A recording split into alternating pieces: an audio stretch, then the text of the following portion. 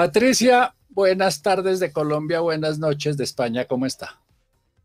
Muy buenas noches, buenas tardes a todos amigos colombianos. Muy bien, muchas gracias. Bueno, le cuento. Aquí el gobierno acaba de anunciarnos la creación de un nuevo producto financiero que se llama la hipoteca inversa. Y ha puesto como ejemplo a varios países, entre ellos España, Perú y los Estados Unidos. Y se ha destapado una discusión grandísima, pero no sabemos de qué estamos discutiendo. Entonces, en RCN, Opinión RCN, decimos llamar allá a que nos cuenten cómo les ha ido con la hipoteca inversa. ¿Cómo les ha ido? Bueno, el resultado no ha sido lo mejor y de hecho hay realmente dificultades para comercializar este tipo de hipotecas en España. Prácticamente ningún banco la quiere comercializar y la comercializan sobre todo entidades crediticias porque no ha funcionado. ¿Qué es la hipoteca inversa? Para que todo el mundo nos entienda. Una hipoteca inversa es que como tú tienes una vivienda que en principio cuando ya te has jubilado la has terminado de pagar, ya no le debes nada al banco y es tuya en propiedad, si no tienes una pensión muy alta, si no tienes muchos ingresos, te puedes plantear rentabilizar esa casa y de alguna manera hipotecarla al banco hasta que tú te mueras. La ventaja, vamos a empezar hablando de lo, que nos van a decir lo bonito de la hipoteca inversa. La ventaja de la hipoteca inversa sería que tú sigues viviendo en tu casa hasta el final y que el banco te va a ir dando un dinero. Hay veces que te lo da de golpe todo el dinero y hay veces que tú decides que prefieres que te den una cantidad mes a mes.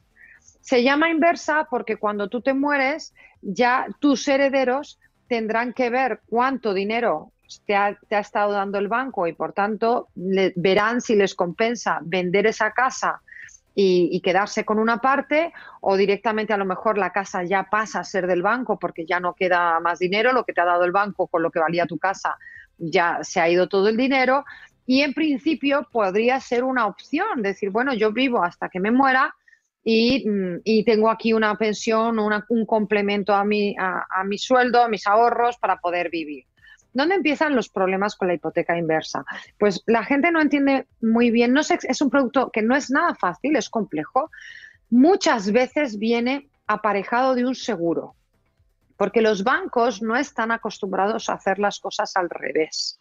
Los que hacen las cosas al revés son los seguros. Los seguros, tú estás dando una cantidad de dinero para si un riesgo sucede, si una contingencia Eh, el banco. El banco se alía con un, con un seguro, normalmente con una aseguradora, para que en realidad le vende el producto a la aseguradora para que la aseguradora vaya dándote dinero. La aseguradora calcula realmente cuál es tu esperanza de vida y si tú te mueres antes le ha salido muy rentable, si te mueres muy tarde ya no le va a salir tan rentable. Y es la que va haciendo toda la operación financiera que es realmente compleja. Los problemas han venido de, distintos tipos. Primero, que la gente no sabía que estaba firmando un seguro y que a lo mejor ese, eh, al morirse, el seguro, si sobraba dinero, el beneficiario era el banco.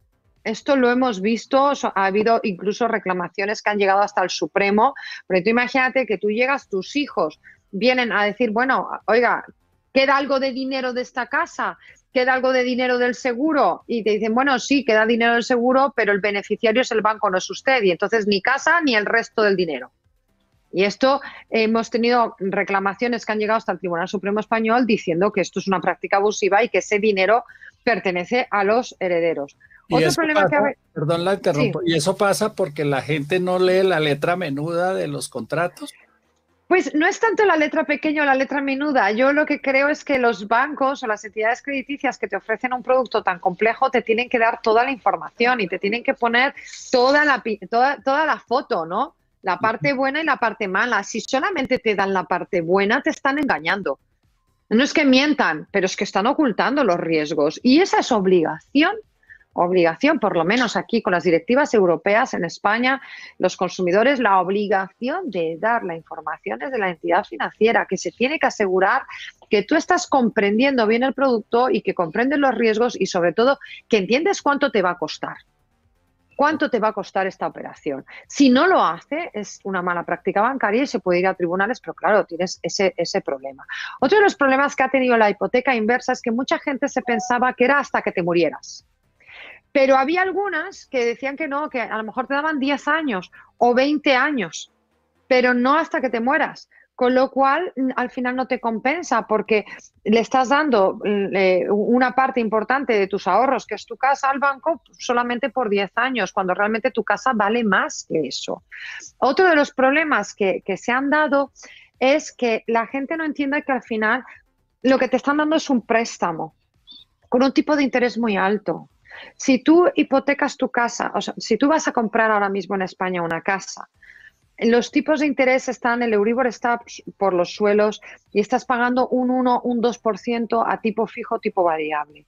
Sin embargo, si contratas una hipoteca inversa, ese dinero que te dan, te dan, imagínate, 500 euros y también te están cobrando un tipo de interés que no te lo cobran en ese momento, pero que va a, cargo de tu casa para cuando tú te mueras.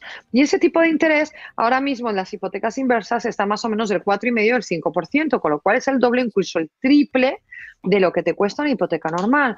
Con lo cual tú piensas que te están dando 500 euros, pero en realidad no te está costando 500 euros, te está costando 500 euros más los intereses que van ahí acumulándose para cuando tú te mueras, tus herederos van a tener que decidir si les mereció o no la pena. Otro de los problemas que tiene, que si tu hipoteca, eh, si tu casa, por ejemplo, imagínate, vale 100.000 mil euros, 100.000 dólares, nunca te van a dar el dinero de, los de lo que vale tu casa.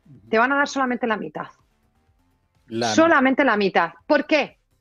Porque la mitad es el dinero que tengo previsto que te puedo dar mientras vivas y un 20, un 30% son los intereses que tienes que pagar por ese dinero que te he dado. Y el otro cual, que yo me quiero ganar como banco. Claro, claro. Entonces, lo que al final ha sucedido en España, se empezaron a comercializar hace 10, 12 años. Ha habido sentencias, pocas, pero ha habido sentencias favorables a los consumidores y al final eh, hay, hay eh, una, un interés en volver a comercializar este tipo de hipotecas porque España es una, la sociedad, la población en España está envejeciendo.